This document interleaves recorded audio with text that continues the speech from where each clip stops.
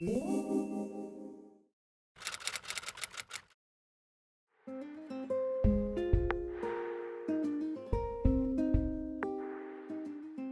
bonjour à tous, euh, bonne année 2024 et on va parler d'une connerie que disent tout le monde, c'est que les forêts, l'océan, c'est le poumon de la Terre, ça fait de l'oxygène, il faut les préserver. C'est vrai qu'il faut les préserver, mais pas parce que c'est le poumon de la Terre. Donc, la deuxième diapo que je marque, c'est pour justement, j'appelle ça les âneries qu'on entend à propos de l'oxygène et du CO2. Je parlerai surtout de l'oxygène aujourd'hui. Et comme je suis enseignant, je bats ma coupe en disant que c'est une des manifestations, ces conneries qu'on entend, en particulier de ces trois personnages-là. C'est la photo où j'ai pu en parler trois à la fois. J'ai pas pu en avoir avec les quatre, cinq, six à la fois commencent à mourir, ceux qui sont de ce côté-là. Donc, c'est une manifestation de l'échec de l'enseignement scientifique en France, qui pourtant devrait exister depuis 1881. Et je me demande à chaque fois qu'avons-nous, nous, les enseignants, les médiateurs, les communicants, qu'est-ce qu'on n'a pas fait ou mal fait pour que des gens aussi, a priori, important que cela, parle de poumons de la terre et des choses comme ça à propos des forêts? Alors, un exemple d'aberration qui n'a pas grand-chose à voir.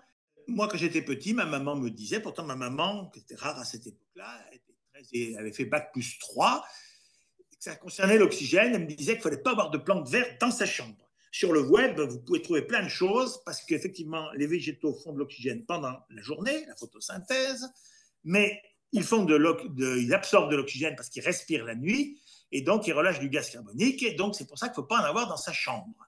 Les végétaux respirent, ils absorbent de l'oxygène, donc il ne faut pas avoir. Et alors ça, je ne sais pas si vous vous rendez compte de l'absurdité de la chose. La respiration d'une plante est quand même largement inférieure à la respiration même d'une souris dans sa petite cage, et je ne parlerai pas de votre conjoint qui dort à côté de vous. La respiration d'une plante est infiniment plus faible que la respiration de n'importe quel humain et sous prétexte que votre partenaire respire la nuit, le metteriez-vous en dehors de votre chambre? J'espère que non. Et eh bien, cette croyance, elle est très très répandue. Elle est aussi idiote que celle du même niveau que la Terre plate, qui paraît-il est répandue pour les deux tiers ou les trois quarts ou le quart, je ne sais plus, des Américains. Non, non, on peut dormir avec des plantes vertes dans sa chambre, ça ne fait rien. Alors maintenant, on va quitter la chambre, on va regarder l'oxygène atmosphérique. L'oxygène atmosphérique est un sous-produit du cycle du carbone. Donc beaucoup de gens parlent actuellement parce que un autre partenaire du cycle du carbone, c'est le gaz carbonique avec son effet de serre bien connu. C'est également le méthane avec également un effet de serre. Donc beaucoup de gens parlent de cycle du carbone en disant absolument n'importe quoi. Euh, là, j'ai photocopié un livre de classe euh, qui date des programmes de 93, donc c'est des programmes d'il y a 30 ans, c'était en, en, pendant qu'il y a eu les accords de Kyoto, c'est ça qu'on montrait aux élèves. Alors là, l'oxygène n'y est pas, c'est simplement le carbone. Je vais vous montrer que quand vous verrez des cycles du carbone, parce que maintenant on en voit partout, vérifiez. Je m'appelle Thomas, je ne crois que ce que je vois ou ce que je peux vérifier. On va regarder le carbone superficiel, les cycles du carbone comme ça. Vous avez des réservoirs, par exemple l'atmosphère, l'océan, la biomasse, avec un certain nombre de tonnes, ou de gigatonnes en l'occurrence, de carbone. Par exemple, l'atmosphère, en 93 contenait 700 gigatonnes de carbone sous forme de CO2. Et il y a des échanges entre ces, réservoirs. Par exemple, il y a la photosynthèse, la respiration, il y a la dissolution du CO2 dans l'océan, l'océan qui relâche et des choses comme ça. Si vous prenez la surface, c'est-à-dire atmosphère, océan, biomasse, il y a des choses qui tournent en rond, donc ça se neutralise, puis il y a des choses qui rentrent. Les volcans crachent 0,1 gigatonnes par an de CO2. Il y a des choses qui partent, la fabrication des charbons, etc. On se met dans une époque pré-industrielle, donc euh, on ne brûle plus de charbon, on ne déforeste pas encore. Donc ça, c'est epsilon, on ne compte pas, mais les auteurs de cycle du carbone faisaient précipiter des calcaires. Pour un géologue, c'est bien de précipiter des calcaires, il en faisait précipiter 0,5. Donc en surface, il en précipitait 0,5 et il en rentrait 0,1, c'est-à-dire qu'il s'en partait cinq fois plus qu'il n'en rentrait. Est-ce que vous savez dépenser cinq fois plus que vous ne gagnez? Rapidement, ça ne marche pas. Donc, quand on voit un cycle comme ça, avec les chiffres qu'ils mettent là, en 100 000 ans, c'est-à-dire depuis simplement le dernier tiers de l'existence d'Homo sapiens, il n'y aurait plus de carbone à la surface, ni dans la biomasse, ni dans l'océan, ni dans l'atmosphère. Donc, quand vous voyez un cycle du carbone, vérifiez que c'est pas trop débile. Ce que je vais vous montrer, c'est peut-être faux, mais je pense que vous aurez du mal à démontrer que c'est faux. Un cycle comme ça, c'est très facile de démontrer que c'est faux. Il ne faut pas oublier que la nature, qui a le temps pour elle, s'il y a un déséquilibre, si léger soit-il, a des conséquences énormes. Les géologues parlent en millions ou en milliards d'années. Imaginez un déséquilibre annuel de 0,01%. N'importe quel gestionnaire, euh, ministre de l'économie et des finances serait ravi d'avoir un, équilibre à 0,01% près. Mais un déséquilibre de 0,01% près, si ça dure dans le même sens sur un million d'années, ça fait un déséquilibre de 10 000% c'est-à-dire multiplié par 100 en cas de déséquilibre positif. Ça peut arriver géologiquement, mais si ça arrive, ça se voit. Donc, ça, c'était mon message, faites très attention. Alors, voici un cycle du carbone complet, mais très simplifié. J'ai mis ça. C'est très compliqué. Alors, il est complet, il est très simplifié, il n'est justement pas complet. Et ce qui va nous intéresser, nous, c'est la fabrication de l'oxygène qui se fait à partir du CO2 atmosphérique ou du CO2 océanique. Et puis tout le reste, on ne va quasiment pas en parler. Donc, on va regarder ça à partir du CO2 océanique ou du CO2 atmosphérique, on voit que la photosynthèse absorbe 100 à 150 gigatonnes par an pour faire de la biomasse. Et il y a un sous-produit qui fait de l'oxygène. Et la respiration avec combustion, quand vous respirez, vous prenez de la biomasse, je ne sais pas moi, du foie gras, parce que c'est encore un peu la saison, vous prenez de l'oxygène, l'oxygène se combine avec le carbone du foie gras et ça refait du CO2. Alors je m'excuse, je suis un peu vieux, l'oxygène, je l'appelle oxygène O2, on devrait dire dioxygène maintenant, mais quand je parle d'oxygène, ce n'est pas l'atome d'oxygène, c'est la molécule O2. Alors, vous savez tous que ce qui fabrique l'oxygène, on le dit, et c'est vrai, c'est la photosynthèse. Qu'est-ce que c'est que la photosynthèse? C'est l'utilisation par les plantes par des et certaines bactéries d'énergie lumineuse, de CO2 et d'eau. Il y a de l'énergie lumineuse, il y a du CO2, il y a de l'eau qui rentre, par exemple, dans une feuille. Des réactions complexes se passent il en sort des molécules complexes contenant du carbone, de l'hydrogène, de l'oxygène et de l'énergie. C'est pour ça qu'on mange. Et il y a un sous-produit qui ressort, c'est l'oxygène. Et cette photosynthèse, il y a les plantes et les bactéries, et certaines bactéries qui savent faire ça. Et le dioxygène qu'on respire, c'est le sous-produit de cette photosynthèse, tout le monde le dit, et on a parfaitement raison. Alors je peux écrire des équations, vous êtes plus ou moins des scientifiques, je ne connais pas bien le public.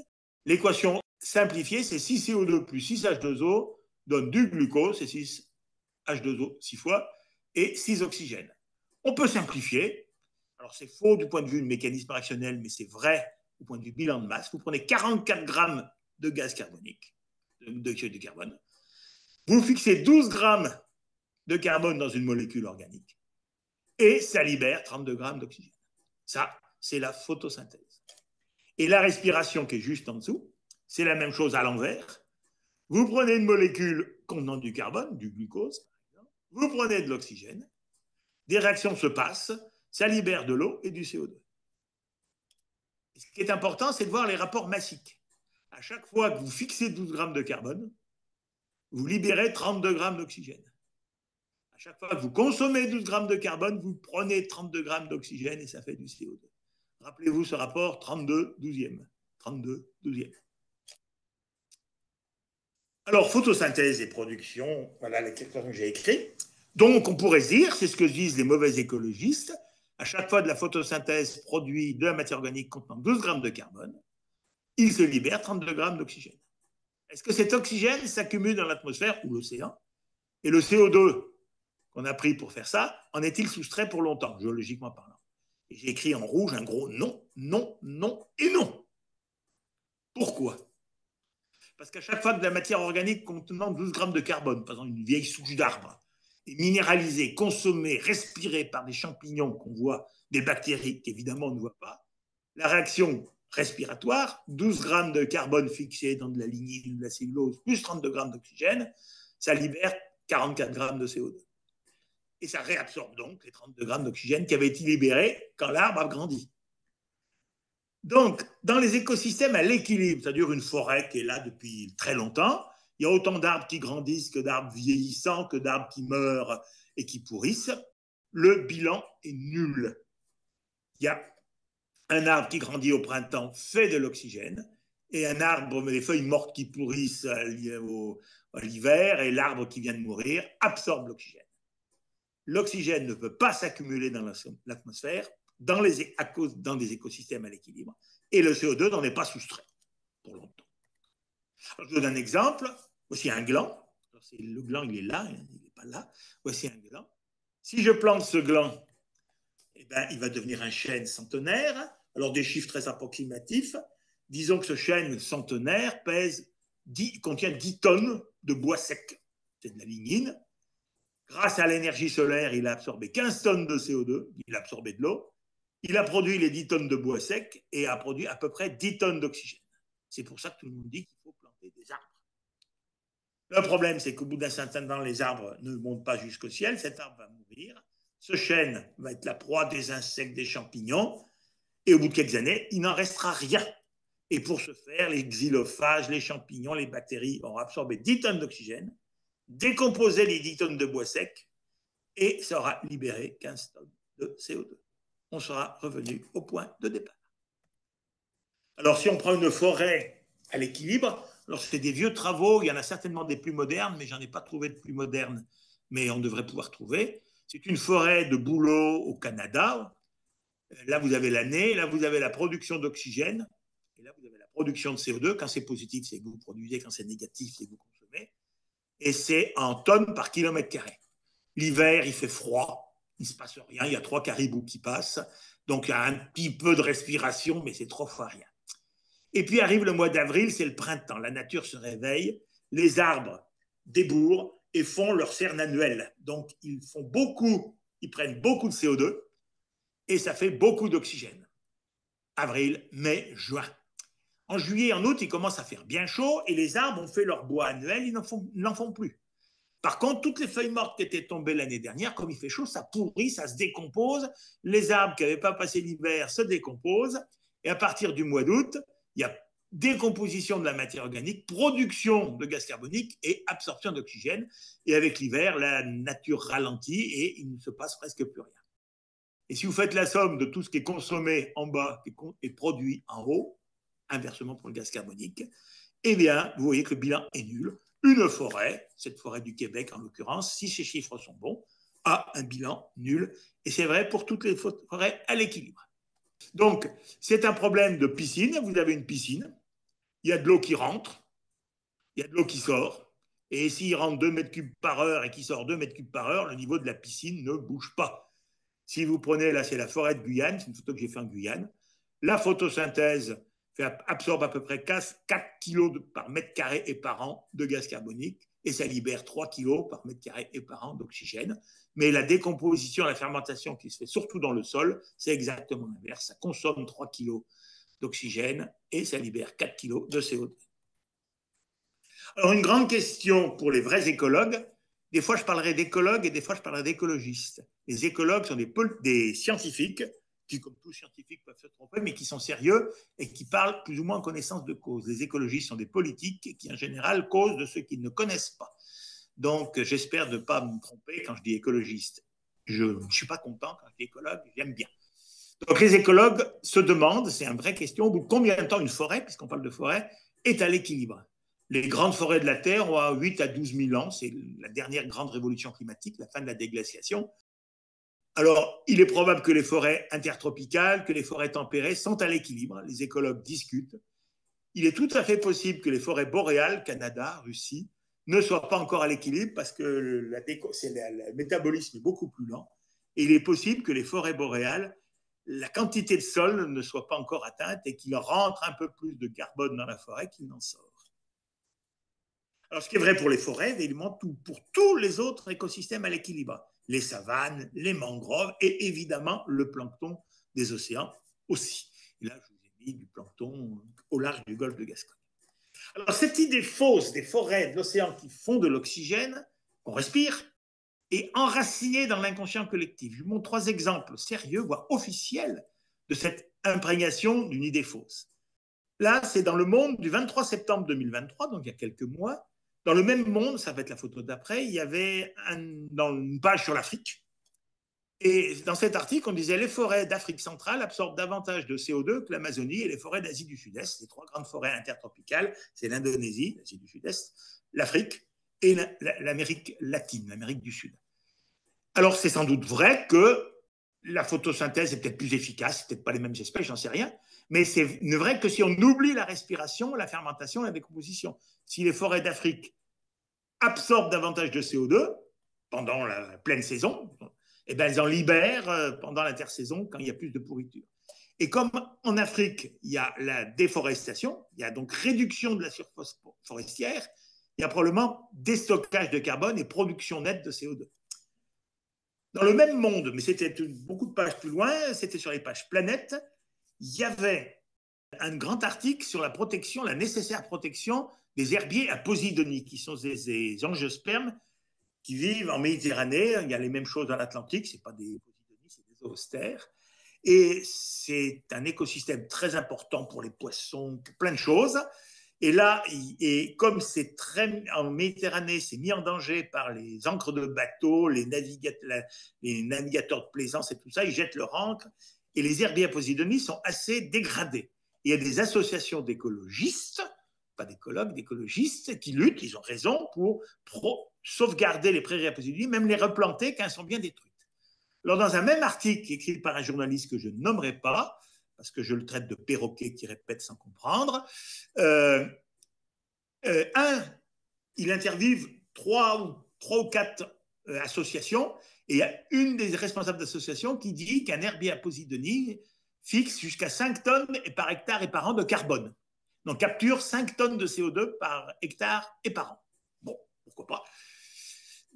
Trois colonnes plus loin, le même journaliste interviewe une autre euh, responsable et qui là parle la, la, Posidonie, le poumon de notre mer, elle produit 14 litres d'oxygène par mètre carré par jour, indispensable aux poissons, etc. Alors, moi j'ai fait la conversion, 14 lignes d'oxygène par mètre carré par jour, ça fait 20 grammes par mètre carré par jour d'oxygène libéré, ce qui fait un certain nombre de... Et si je transforme ça, rappelez-vous le, le truc 32 douzième, ça fait 190 tonnes de CO2 absorbées par hectare et par an. Là, ils mettent 5 tonnes. Là, si on convertit, ça fait 190, c'est-à-dire 40 fois plus. Au moins un des deux membres de ces ONG écologiques a faux. Peut-être les deux, mais au moins un des deux. Et le journaliste du Monde qui a écrit cet article, perroquet qui répète sans comprendre ni vérifier, n'a pas noté la contradiction. Un autre aspect subofficiel euh, de ça, c'était quand il y avait la COP 21, donc en novembre 2015, dans le couloir du métro de la station Montparnasse, il y avait toute une chose faite par le CNRS. Euh, tout ça, c'était très officiel. Et globalement, c'était sur l'oxygène. C'était extraordinaire. J'ai fait quelques zooms.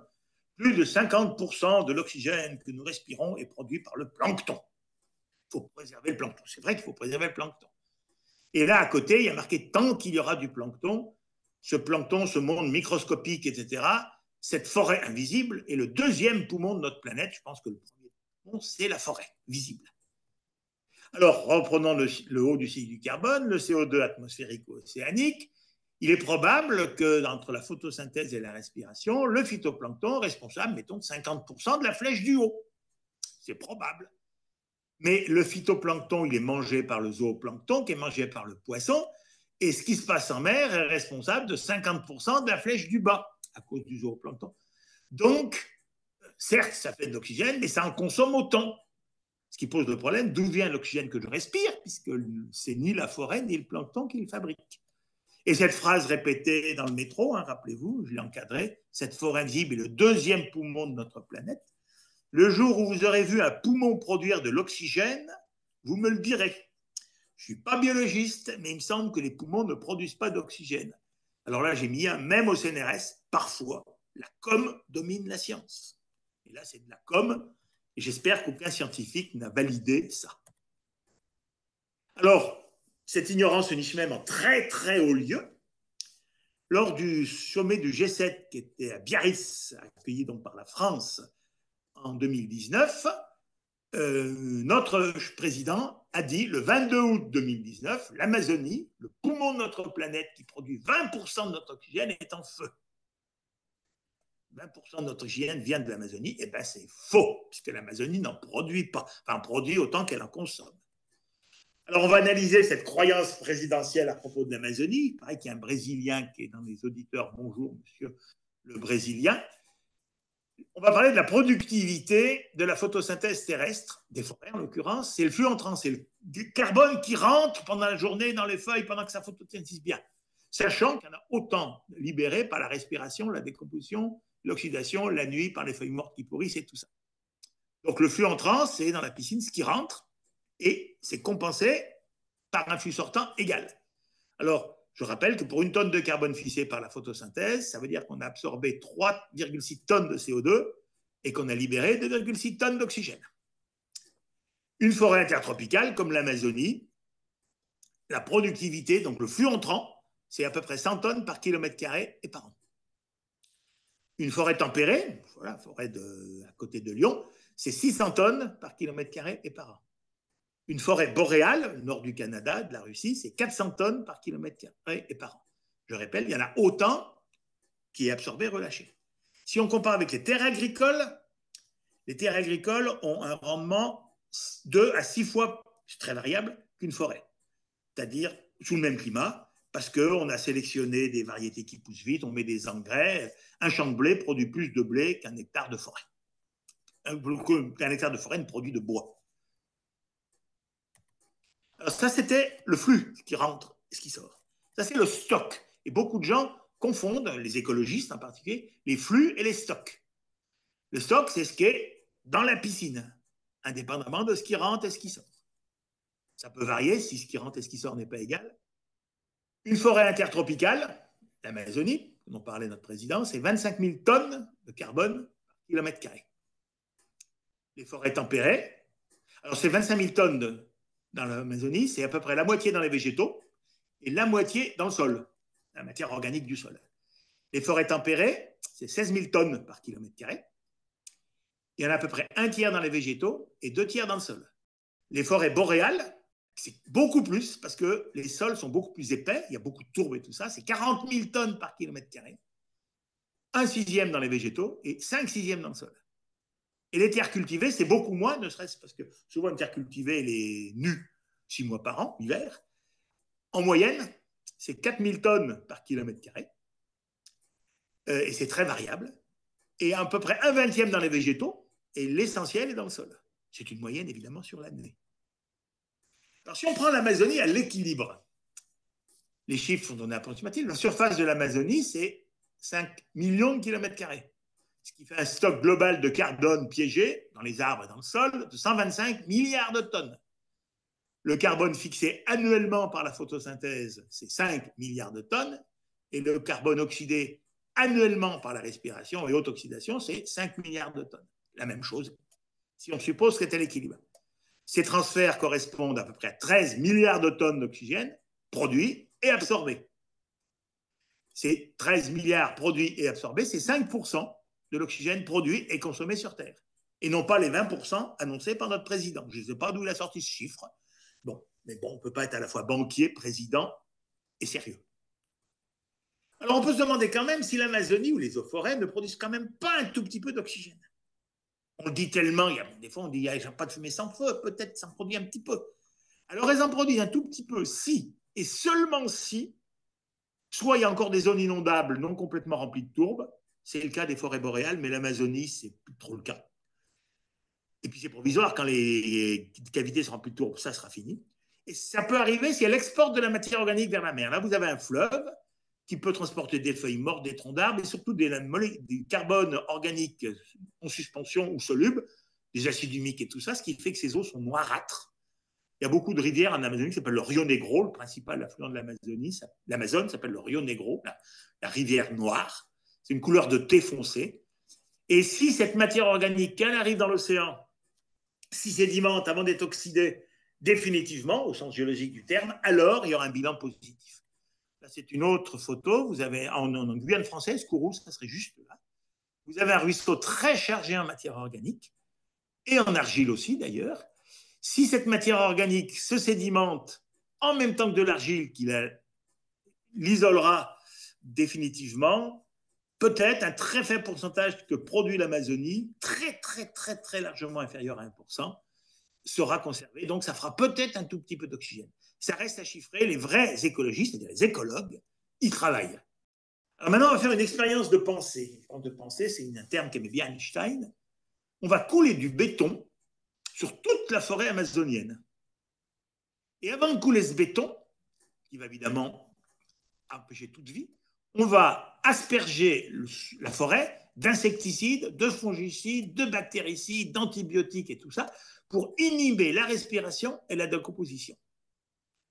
Si on fait ça, on remplacerait des, des flux très forts, rappelez-vous les flux énormes, mais équilibrés, par des flux nuls, mais équilibrés aussi. Zéro égale zéro. Alors qu'avant, c'était des milliards de tonnes qui étaient égales pas des milliards de tonnes. Si on fait ça, ça serait une catastrophe pour les Amérindiens, une catastrophe pour la biodiversité, une catastrophe pour le cycle de l'eau. Mais ça ne changerait rien vis-à-vis de l'oxygène et du gaz carbonique. Alors, je ne dis pas qu'il faut le faire, mais vis-à-vis de l'oxygène et du gaz carbonique, remplacer l'Amazonie par du béton, si on met avant des insecticides, ça ne changerait rien. Alors, on va arrêter de couler virtuellement du béton et on va déboiser l'Amazonie pour planter du soja, pour faire des champs, pour mettre des vaches. C'est ce que vous voulez faire. Et que peut-être les Brésiliens continuent. S'ils continuent, c'est parce que nous, on achète euh, les vaches et le soja. Hein. Alors, je recompare une forêt avec un sol cultivé. Là, c'est les chiffres pour une forêt tempérée. Dans une forêt tempérée, vous avez les arbres, vous avez le sol et tout ça, les racines. Il y a 20 kg de carbone par mètre carré. Dans un champ, il y en a moins, il y en a 5 kg de carbone par mètre carré.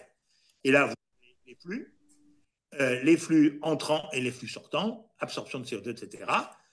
Il y a beaucoup plus de stock de carbone dans les forêts que dans les terres cultivées, mais les flux sont plus importants. Alors, ce que font les Brésiliens, c'est bien pire que de couler du béton sur la forêt, parce qu'à terme, ça revient à remplacer 5 millions de kilomètres carrés de forêt par 5 millions de kilomètres carrés de champs de soja et de pâturage à vaches. Or, il y a plus de carbone stocké dans les forêts que dans les pâturages et les champs, et le stock de carbone de l'Amazonie passerait de 125 milliards de tonnes à 20 milliards de tonnes, ce qui libérerait 378 milliards de tonnes de CO2 et consommerait 273 milliards de tonnes d'oxygène. Et ce CO2 libéré, il partirait dans l'atmosphère, qui est très pauvre en CO2, ça augmenterait le CO2 atmosphérique de 20%. C'est colossal.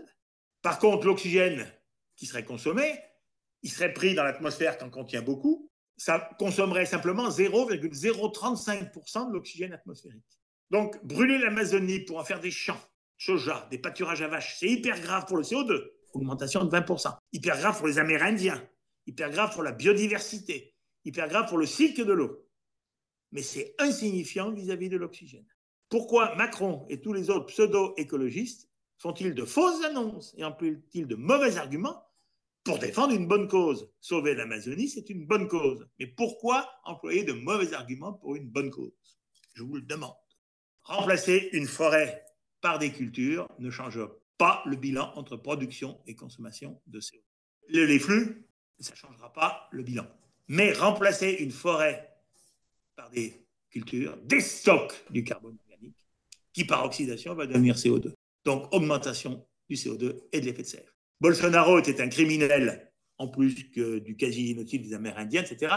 Non pas parce qu'il détruisait le prétendu poumon de la Terre, il était un criminel parce que c'était un déstockeur fou de carbone.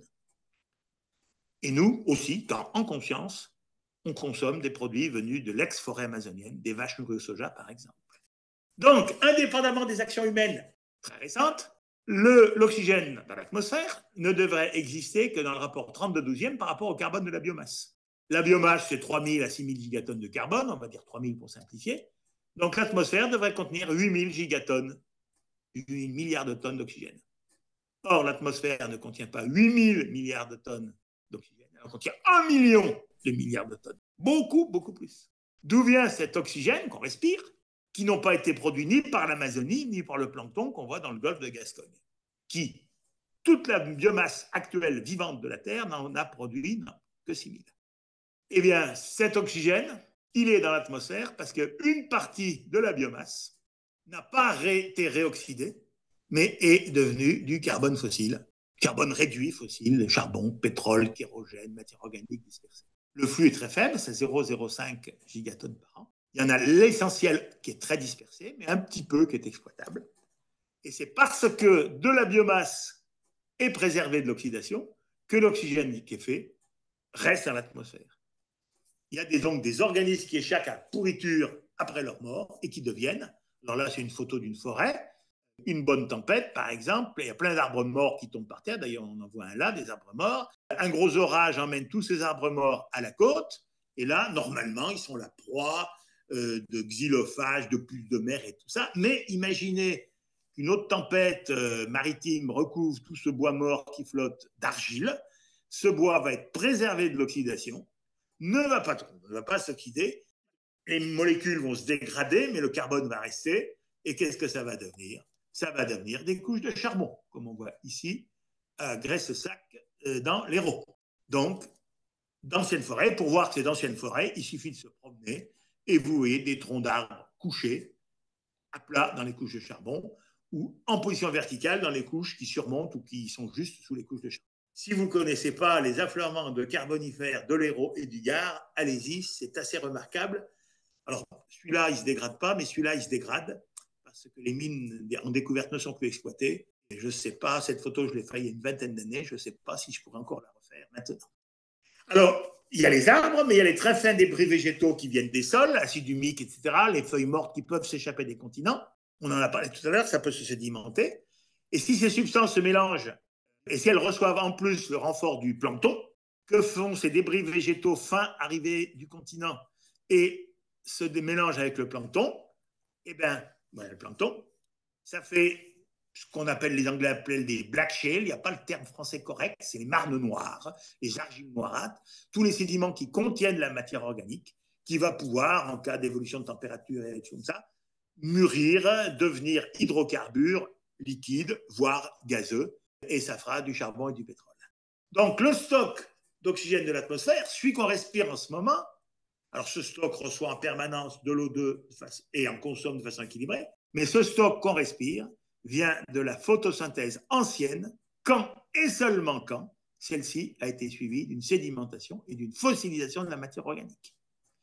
À chaque fois que des processus géologiques entraînent la, fossilisation de 12 grammes de carbone, réduit, je ne parle évidemment pas des carbonates, les 32 grammes d'oxygène sous-produits de la photosynthèse qui a produit ces 12 grammes de carbone ne sont pas consommés. Et ce sont tous ces 32 grammes d'oxygène accumulés au cours des âges, en particulier au carbonifère, mais évidemment pas que, qui se sont accumulés dans l'atmosphère et qu'on respire. Même si ce stock est en permanence renouvelé, comme l'eau d'une piscine est renouvelée par euh, l'arrivée et le départ. Donc l'oxygène de l'atmosphère vient du fait que il y a fossilisation de matière organique. Alors, si on faisait ça très longtemps, bah, il n'y aurait plus de carbone dans l'atmosphère, parce qu'à même si c'est 0,035, une partie de la matière organique des roches sédimentaires peut être réoxydée quand l'érosion l'amène à l'air libre. Ça doit être la prochaine photo. Voilà. Là, si vous prenez de la matière organique, c'est des marnes noires en l'occurrence, que l'érosion amène à l'air libre, la matière organique réagit avec l'oxygène pour refaire du gaz carbonique, et c'est pour ça il y a une, espèce de stabilité de l'oxygène. Et là, vous avez, c'est dans les Alpes, vous avez le lac de Monténard, c'est des marnes noires du Jurassique. Et ces marnes noires, elles sont noires quand il y a, mais sinon elles sont ocre parce que la matière organique s'oxyde et le noir devient beige jaune. Alors là, il se pose un problème et ça va être ma conclusion. Si vous évaluez la masse du carbone réduit dans les sédiments, vous avez 10 euh, à 20 millions de gigatonnes. C'est beaucoup. Donc ça devrait avoir comme contrepartie stoichiométrique 10 à 20 millions, j'ai pris 15 pour prendre la moyenne, par 32 douzièmes, puisque c'est toujours mon chiffre magique, il devrait y avoir 40 millions de gigatonnes d'oxygène dans l'atmosphère. Il n'y en a pas 40 millions, mais 1 million simplement. Donc la question, c'est pas d'où vient l'oxygène de l'atmosphère, mais où est parti l'oxygène qui devrait y avoir et qui n'y est plus? Où sont passés les 97,5% manquant. Eh bien, il a été accaparé par des réducteurs qui ont été oxydés. Et les principaux réducteurs sur Terre, c'est le fer 2+. Et quand le fer 2+, l'oxyde ferreux, devient du fer 3+, oxyde ferrique, eh bien, ça absorbe de l'oxygène. C'est les sulfures. Quand vous avez des sulfures SE2-, pyrite et choses comme ça, qui, qui s'oxydent, ça fait des sulfates. Et là, j'ai mis des niveaux de fer rubané que j'ai photographié en Afrique du Sud. Et là, j'ai mis des cristaux de géants. Hélas, ce n'est pas moi qui les ai photographiés dans la célèbre grotte de Naïka au Mexique. Donc, beaucoup, beaucoup, beaucoup d'oxygène sont piégés par des oxydes oxydés. Alors, attention, il y a des oxydes qui ne sont pas oxydés. Hein. Le fer FeO, ce n'est pas un oxyde oxydé. L'oxyde oxydé, c'est Fe2O3. Alors, il faut faire le bilan. Il faut regarder, si on ne s'est pas trop trompé, que l'oxygène de l'atmosphère plus de l'océan, plus l'oxygène contenu dans les sulfates, plus l'oxygène contenu dans les fers ferriques. Je parle évidemment pas, de l'oxygène des silicates et de la silice. La silice ne change pas son oxygène avec le reste. Est-ce que c'est égal aux corrections stoichiométriques près à la matière organique des sédiments, au charbon, au pétrole? Entre parenthèses, vous avez un très beau gisement de pétrole en France. Vous avez moi, entre guillemets, qui donne l'échelle. Vous avez le pétrole qui coule dans des galeries de mines. Si la France était un pays civilisé, ce site serait protégé, mis en valeur, visité par, pour montrer aux touristes un gisement de pétrole vu de l'intérieur. Hélas, on est en France, où la géologie, malgré tous vos efforts et tous les miens, est très, très négligée. Donc, ça va être ma première conclusion. Écolo, politiciens, communicants et journalistes sont-ils capables de comprendre tout ça? Pour certains, on en doute très fort. Et ma deuxième conclusion, c'est un peu une moralité en sens Jean de La Fontaine du terme.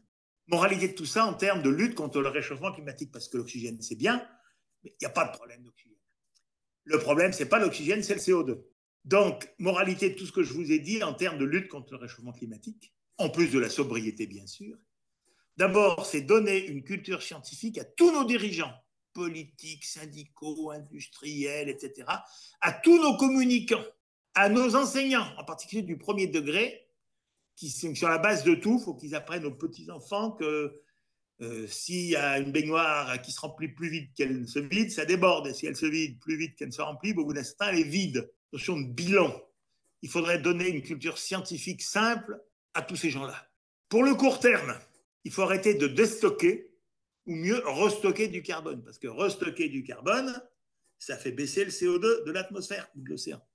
Donc pour ça, il faut évidemment brûler beaucoup moins de combustibles fossiles et faire moins de ciment. Parce que la fabrication du ciment libère beaucoup, beaucoup de CO2.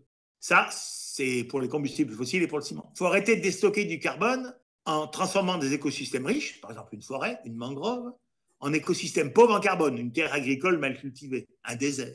Et si on pouvait faire l'inverse, c'est-à-dire prendre une terre agricole mal cultivée et la transformer en terre agricole bien cultivée avec un sol, prendre un désert et la transformer en forêt, ça serait bien. Restocker le carbone. Et pour ça, faut, entre autres, il faut changer nos pratiques agricoles. Parce que nos pratiques agricoles, vive la FNSEA, le Crédit Agricole et l'Europe, détruisent la matière organique des sols. Ils les détruisent avec les labours profonds. Les labours profonds oxydent la matière organique des sols. Ils détruisent cette matière organique en mettant des nitrates. Or, si vous vous rappelez les cours de chimie, les nitrates sont des oxydants.